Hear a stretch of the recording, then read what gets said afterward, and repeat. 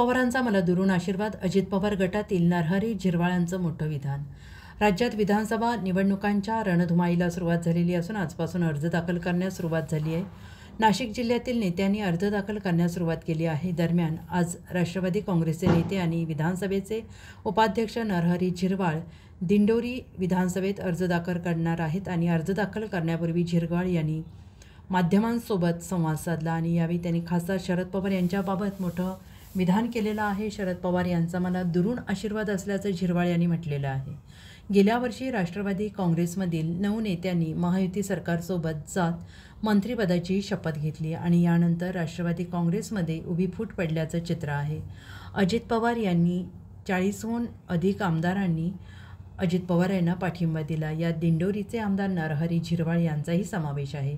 दरम्यान आता आमदार झिरवाळ यांनी उपमुख्यमंत्री अजित पवार यांच्या राष्ट्रवादीमधून अर्ज दाखल केला आहे. अर्ज दाखल करण्यापूर्वी आमदार नरहरी झिरवाळ यांनी पत्रकारांसोबत संवाद साधला. यावेळी झिरवाळ म्हणाले शरद पवार यांना कोणीही चॅलेंज करूच शकत नाही.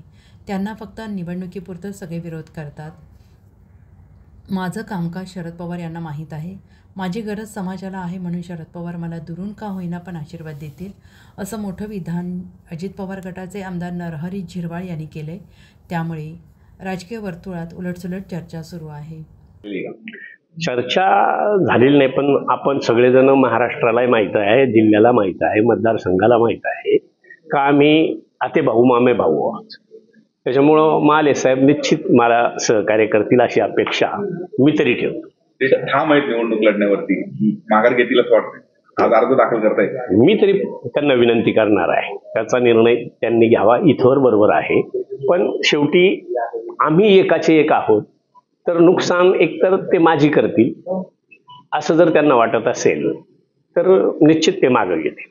साहेब युतीकडनं आपल्याला उमेदवारी जाहीर झाली मात्र महाविकास आघाडीकडनं अद्यापही उमेदवार जाहीर होत नाहीये किंवा कोण उमेदवार असेल त्यावर अद्याप शिक्कामोर्तब होत नाहीये कसं बघताय ते बहुतेक आज डिक्लेअर होऊन जाईल. आज रितसर यादी त्या ठिकाणी डिक्लेअर होईल असं वाटतं. किती आव्हान वाटतंय? कारण आता आपण चौथ्यांदा निवडणूक लढताय. कारण लोकसभेला जर बघितलं तर या मतदारसंघांना अं, जो कौल आहे तो महाविकास आघाडीला दिला होता. सगळ्यात गंभीर इलेक्शन असतं ते सहकारी संस्थेचं आणि ग्रामपंचायतचं. म्हणजे लोकसभा ही तशी एक हवेवर म्हणा किंवा त्याचा सात आठ मतदारसंघाशी फारसा संबंध नसतो. फक्त त्यांचं कोणाचंही मी उभा राहिलो होतो. त्यावेळेला एक हवा असते का बाबा हा नावाने ती पुढं पुढं जात असते. तसा प्रकार हळूहळू विधानसभेला कमी होतो जिल्हा परिषदला अजून कमी होतो. मग ग्रामपंचायतचं तर अगदी वाड्या वाड्यावर इलेक्शन होत असतं. त्याच्यामुळं लोकसभेशी याचं मॅच करणं योग्य नाही. विजयाची किती खात्री वाटते? हंड्रेड अँड वन पर्सेंट अखेरचा प्रश्न साहेब मागच्या निवडणुकीत राष्ट्रवादी एक साहेबांचा आशीर्वाद तुमच्या मागे होता.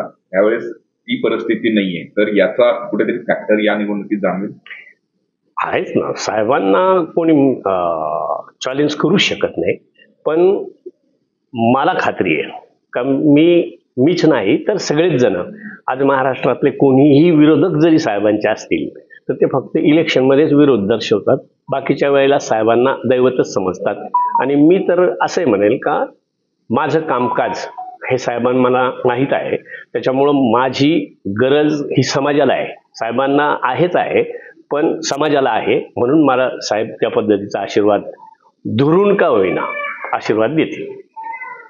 Bureau report S B N Marathi Mumbai.